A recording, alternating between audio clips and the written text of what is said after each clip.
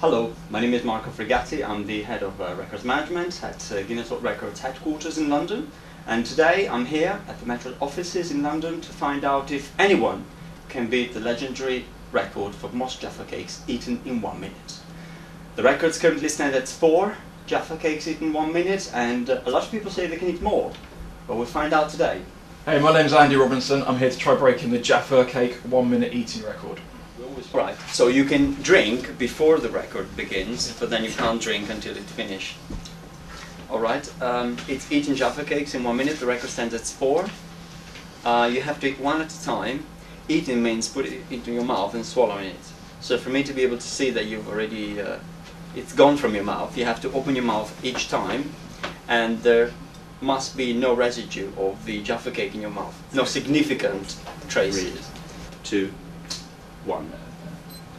Okay?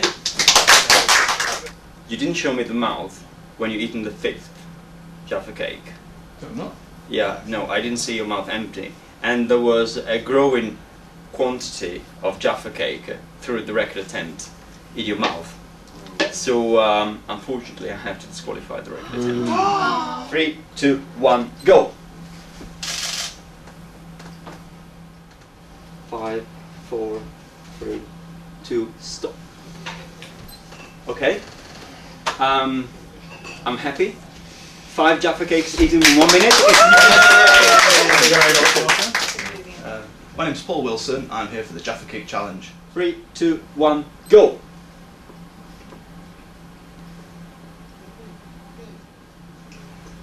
Four Jaffa cakes. You're eating the fifth. 50 seconds. Four, three, two, one, stop. Can you see more? Six Jaffa cakes in one minute. It's a new Guinness Record. You also have a medal for you. yes, very good.